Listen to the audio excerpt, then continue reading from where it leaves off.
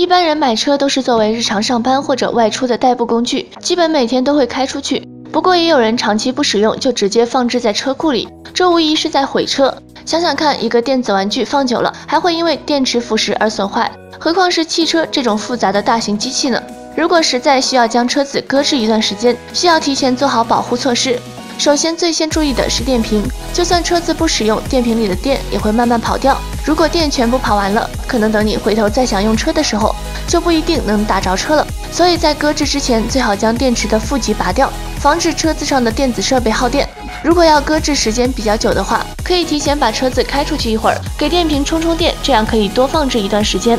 然后需要注意的机油，就算是没有使用发动机，机油也会因长时间静置而被空气氧化，变得浑浊浓稠。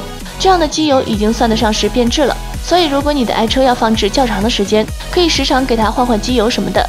最后千万不要忽略了轮胎，车子停着一动不动，压力全在轮胎上。如果轮胎气不足，可能轮胎发生形变比较严重，长时间保持这种状态，轮胎就难以恢复。随着时间的流逝，轮胎内气体也会一点一点减少，更会加重这种趋势，最终会导致轮胎报废。所以最好提前把轮胎胎压提高，